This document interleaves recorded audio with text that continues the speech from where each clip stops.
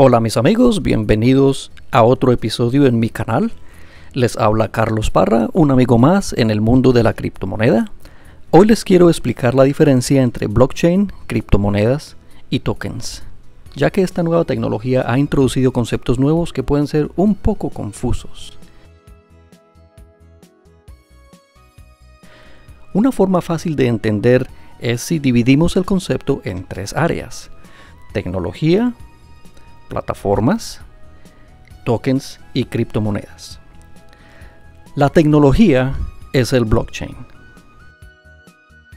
El blockchain fue una idea introducida en el 2008.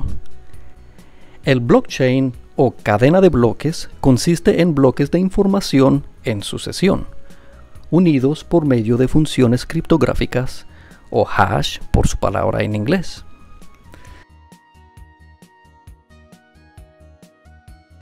Las plataformas son los diferentes blockchains, el primero y más conocido, el cual es Bitcoin, y está también Ethereum y NIO, entre otros.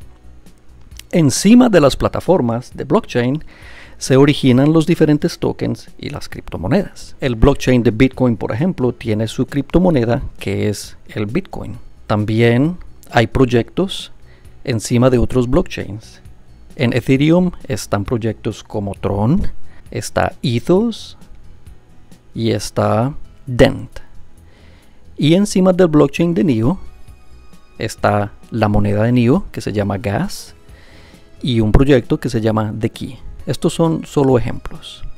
Ahora, concentrándonos en la oportunidad de inversión en estos diferentes proyectos, ¿cuál es la diferencia entre criptomoneda y token? Una criptomoneda es una forma de pago digital basado en la criptografía. Una criptomoneda tiene características similares al dinero fiduciario en el sentido de que provee seguridad, descentralización y anonimato.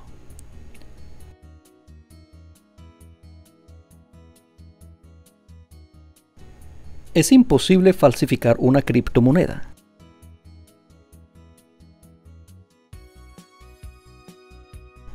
No se necesita un intermediario para intercambiar valor y no necesitas dar a conocer quién eres cuando intercambias este valor. Como ejemplo, digamos que quieres comprar un café. Tienes en tu bolsillo dinero original no falsificado. Cuando vas a pagar por tu café, no necesitas un intermediario como un banco o una institución financiera porque tú lo vas a hacer personalmente. Tampoco necesitas dar todos tus datos como tu nombre, fecha de nacimiento, etcétera, para comprar el café. Puedes comprarlo de una forma anónima.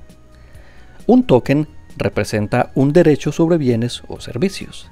El mejor ejemplo de esto es como las fichas o los tokens en un casino.